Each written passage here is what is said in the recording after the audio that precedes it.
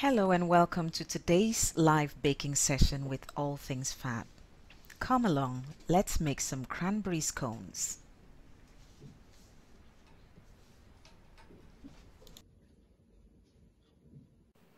Hello and welcome to today's live baking session. Today I'm going to be making some cranberry scones. So over here I've got 450 grams of self-raising flour, I've got 120 grams of unsalted butter. This is 100 grams of granulated sugar. Over here I've got 200 mils of milk and I will be adding a little pinch of salt, a bit of vanilla. This is a little bit of lemon juice, about one and a half tablespoons and the almighty cranberries. These are dried cranberries, so it's going to be very lovely. Um, also, I'll be needing a cutter. You can either use the zigzaggy shape size or the plain size. We'll use both just to show you the alternate. And I've also preheated my oven to 200 degrees and I've also pre-lined my baking tray. So let's get started. I'll throw in my flour straight in. Into that I'll add the sugar. I'll add a little pinch of salt. That's just enough. And this is my butter. I'll throw that straight in.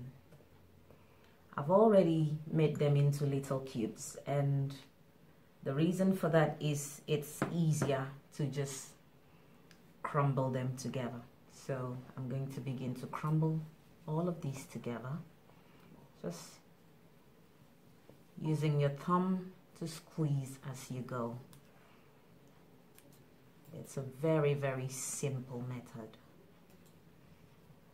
by all means if you've got a food processor that does the crumbling for you you could of course use that. Otherwise if you haven't got the food processor that does the crumbling for you it's so easy peasy to just mash and crumble your butter and flour together just like this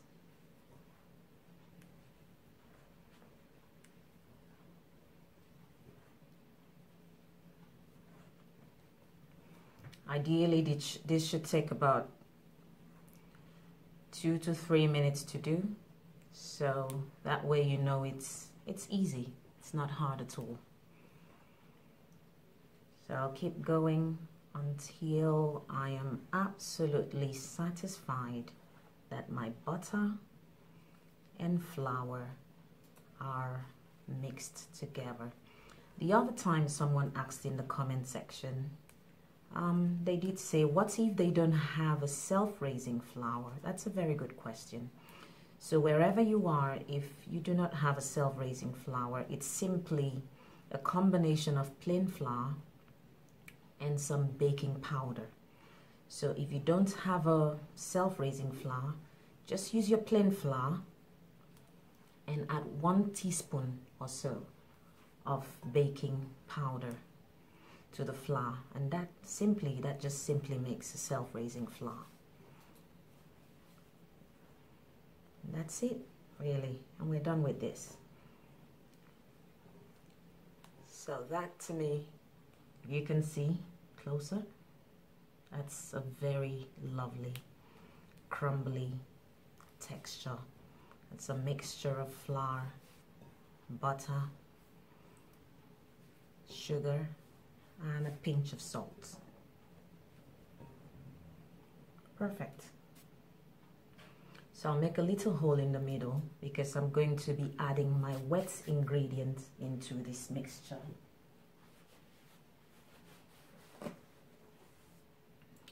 This is my milk and that's 200 milliliters.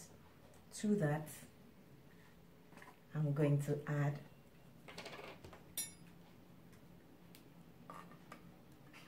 some vanilla.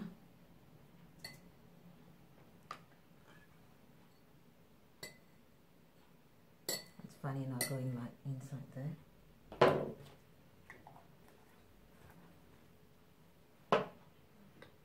And like I said earlier, that is lemon juice in there.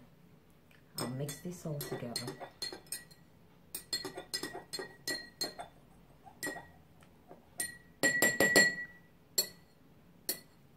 And I'll simply throw this straight into the dry ingredients and I'll gently begin to fold the dry ingredients into the middle. What we're going to have is a very wet and sticky texture. And it's still very nice and crumbly, which is just perfectly what I need. So before I use my hands, I'm going to now throw in the cranberries and I'll mix them all together.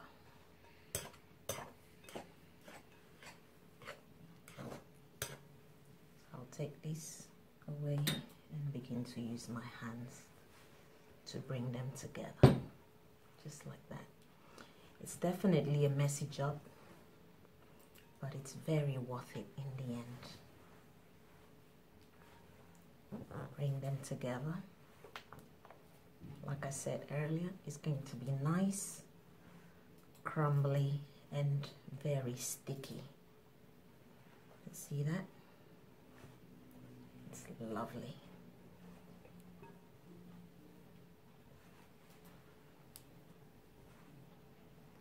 Just keep mixing it together until you have a little, a nice little ball. It should be able to nicely stick together. And you're gonna need a rolling pin. Just a gentle rolling not a very tough one. So once that's ready I'll uh, take this off give a quick clean to my surface and I'll throw this straight down onto the board.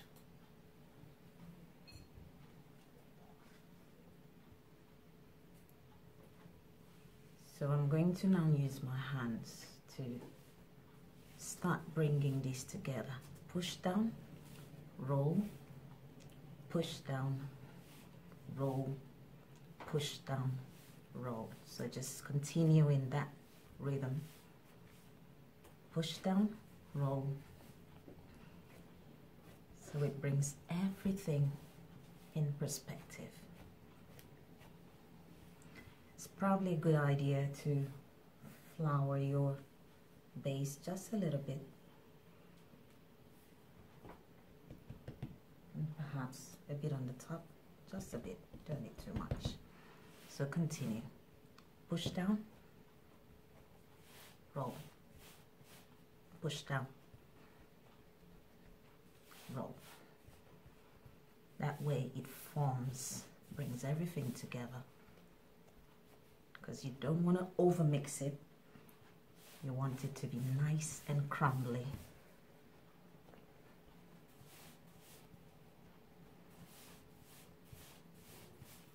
Push down. Push down,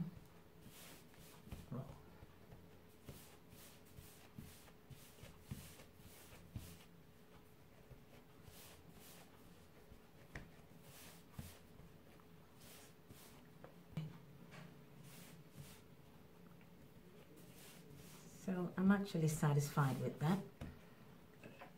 Just use my rolling pin, just powder it gently. And just glide along. It's very gently. You don't need to over roll this because we need it to have a very good height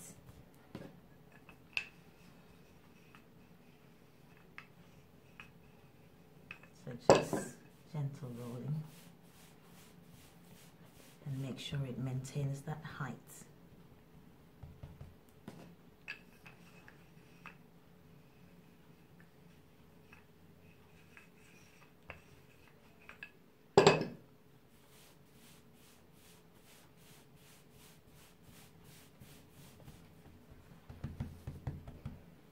perfect. So I like a thing like this. What it does is you're going to use the cutter but you need to dip it in flour. That way there's no sticky and it makes a very good transition. So we're going to do that.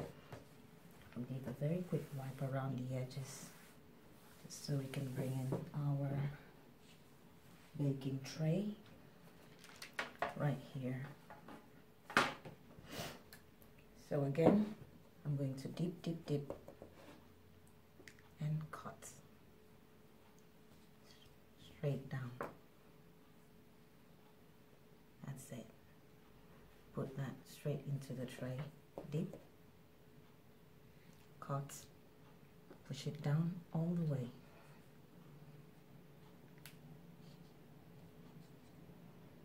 There you go. Straight in. It again. Push it down. And bring it right out. Straight into the tray. Cut somewhere in the middle. Push it down. Straight into the tray.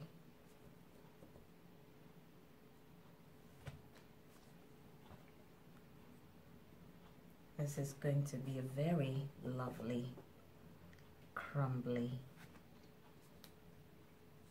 scones. They're lovely. You can see that height, that level, that's just perfect for what you need.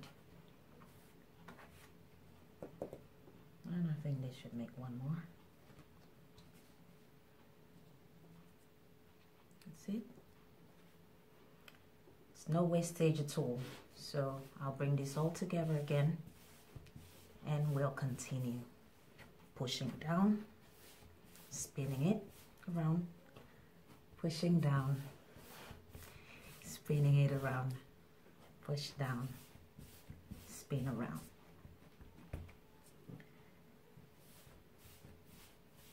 You can turn around the other uh, side and just do the same.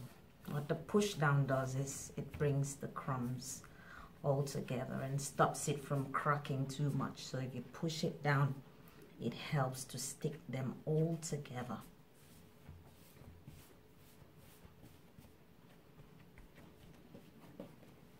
I'll put a little bit of flour on the surface and a bit on the top.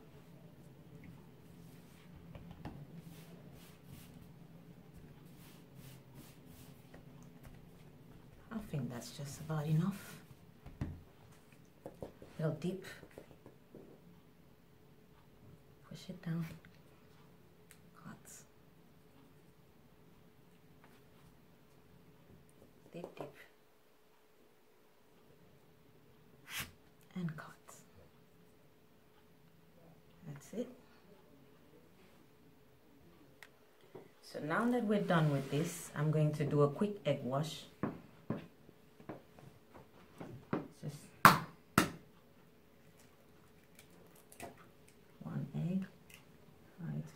use the thing.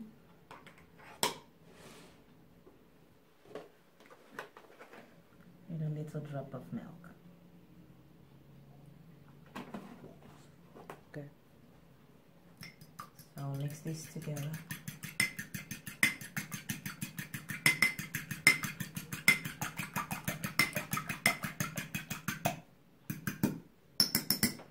That looks alright And we'll just simply brush a little bit on top.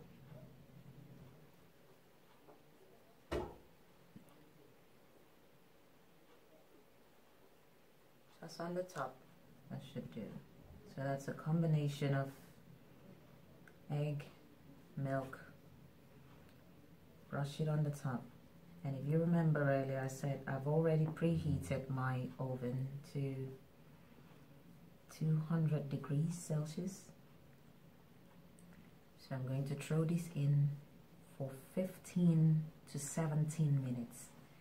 So when it's about 15 minutes, I'll check to see if, if that's fine. Sometimes depending on the temperature, 15 minutes would do. otherwise I'll leave it for another two extra minutes so about 15 to 17 minutes and we should be having tea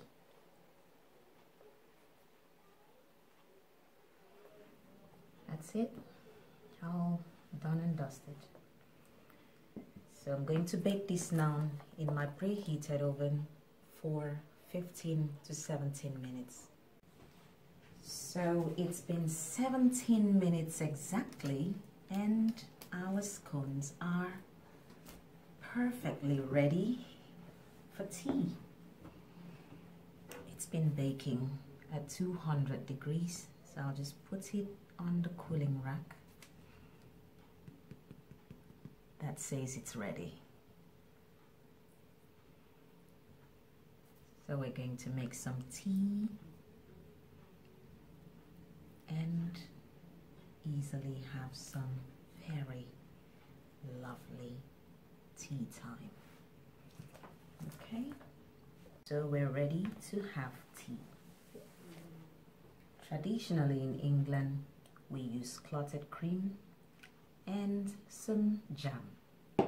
So that's what I'm going to do.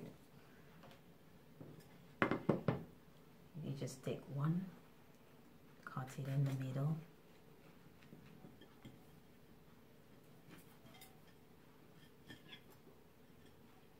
it opens and it's perfect.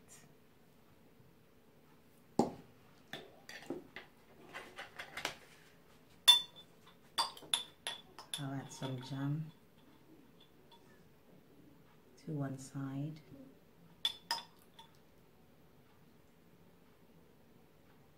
Just like that, roughly on the top.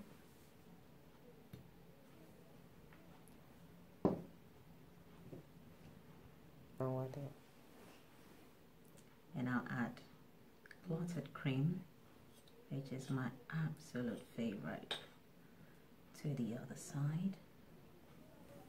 Just like that. As you can see, it's nice and crumbly, which means the scones are just right. So once you put the clotted cream on, tea is absolutely ready. Put them together and that's your perfect scone for tea. Absolutely amazing. So we're going to start our tea time. So I'll just move this slightly to the corner. And we're going to have tea. Simple English breakfast tea.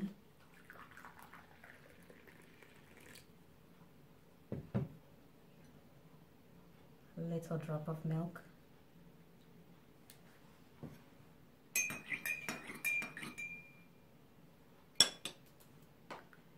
And enjoy your lovely scones.